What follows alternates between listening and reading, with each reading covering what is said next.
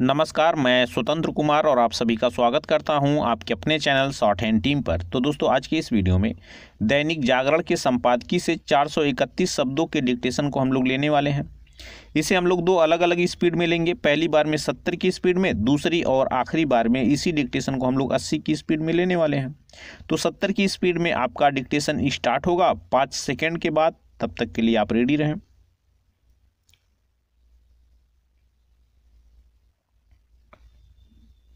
Start. आखिरकार चीन यह मानने को विवश हुआ कि गलवान घाटी की झड़प में उसके भी सैनिक मारे गए थे, लेकिन फ़िलहाल उसने मारे गए सैनिकों की संख्या कम करके ही बताई है। चीन पूरा सच बयान नहीं कर रहा है। इस संदेह का एक कारण तो यह है कि अन्य स्रोतों से मारे गए चीनी सैनिकों की संख्या 45 से लेकर 70 तक बताई जा चुकी है और दूसरा यह कि इस खूनी झड़प के बाद चीनी सेना को अपने हताहत सैनिकों को ले जाने के लिए कई वाहनों का इंतज़ाम करना पड़ा था। यदि चीनी नेतृत्व अपनी जनता के प्रति तनिक भी ईमानदार होता तो अपने सैनिकों के बारे में सूचना देने में नौ महीने नहीं लगाता।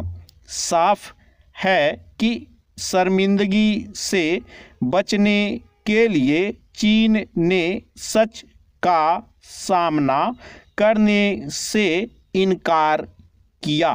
चूँकि यह उसकी पुरानी आदत है, इसलिए उसकी बातों पर एक सीमा से अधिक भरोसा नहीं किया जा सकता, लेकिन उसकी स्वीकारोक्ति के बाद भारत में उन लोगों को अवश्य शर्मिंदा होना चाहिए, जो यह मानने को तैयार नहीं थे कि गलवान में चीनी सैनिकों को कोई नुकसान हुआ।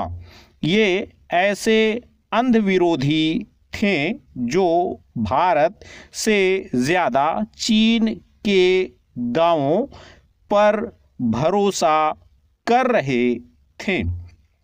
वास्तव में इसी अंधविरोध के कारण ऐसे लोग यह स्वीकार करने में भी आनाकानी कर रहे हैं कि पेंगोंग झील से पीछे हटना चीन की शिकस्त का परिचायक है।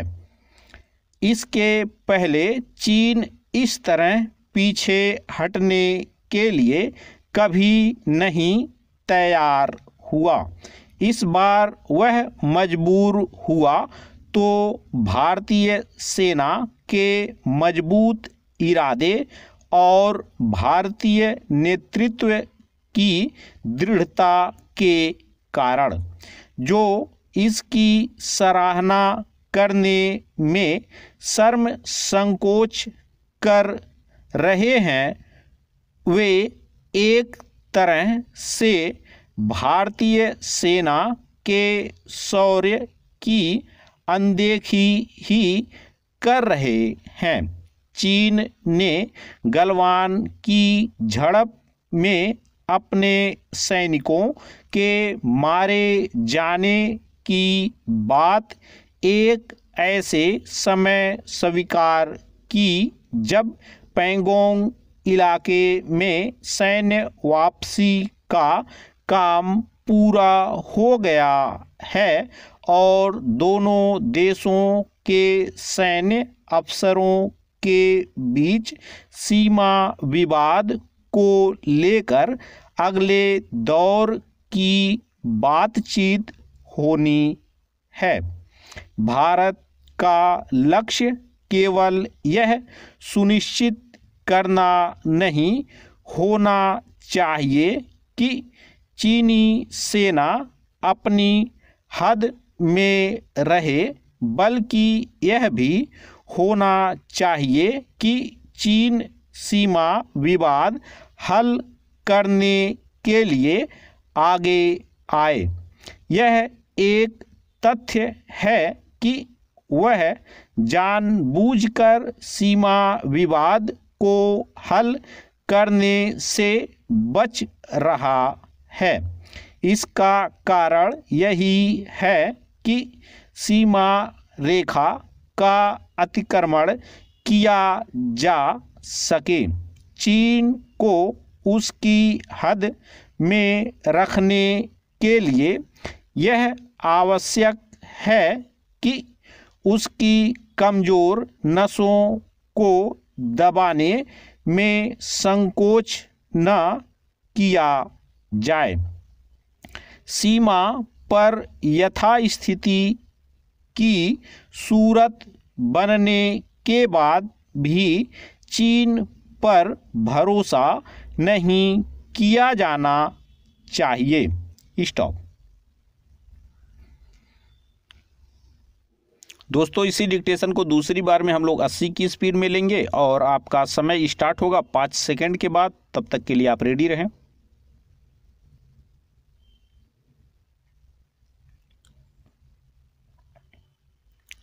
स्टार्ट आखिरकार चीन यह मानने को विवश हुआ कि गलवान घाटी की झड़प में उसके भी सैनिक मारे गए थे, लेकिन फ़िलहाल उसने मारे गए सैनिकों की संख्या कम करके ही बताई है।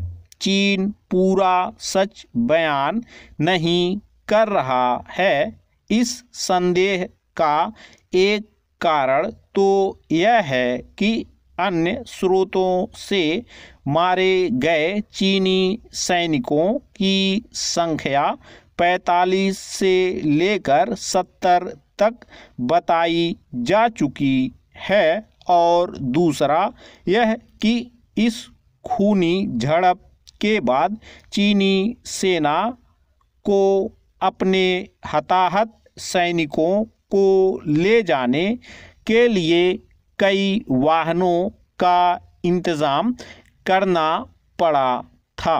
यदि चीनी नेतृत्व अपनी जनता के प्रति तनिक भी ईमानदार होता तो अपने सैनिकों के बारे में सूचना देने में नौ महीने नहीं लगाता। साफ़ है कि शर्मिंदगी से बचने के लिए चीन ने सच का सामना करने से इनकार किया। चूँकि यह उसकी पुरानी आदत है, इसलिए उसकी बातों पर एक सीमा से अधिक भरोसा नहीं किया जा सकता, लेकिन उसकी स्वीकारोक्ति के बाद भारत में उन लोगों को अवश्य शर्मिंदा होना चाहिए, जो यह मानने को तैयार नहीं थे कि गलवान में चीनी सैनिकों को कोई नुकसान हुआ। ये ऐसे अंधविरोधी थे जो भारत से ज़्यादा चीन के दावों पर भरोसा कर रहे थे।